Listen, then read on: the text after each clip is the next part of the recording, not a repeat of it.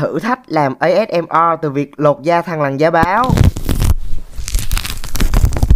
Con quỷ này là mình sắp xếp cho khách mà nó lại đi ủ lột các bạn. Báo ghê chưa? Nên là bây giờ mình phải lột cho nó chứ không thôi trên đường đi nó sẽ bị khó lột và anh khách sẽ chửi vô cái đầu mình. Với những anh em chơi bò sát thì cái khoảnh khắc lột lớp da cũ của con bé á phải nói là phê chữ E kéo dài luôn. Mở ngoặt rất phê, đóng ngoặt. Đoạn này mới phê này các bạn, nghe này nghe nè.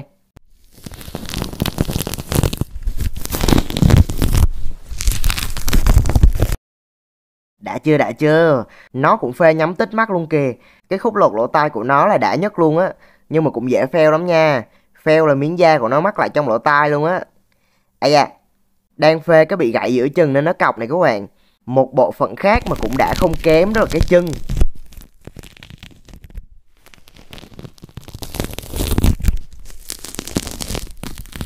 Lột nó sẽ ra nguyên cái bao tay như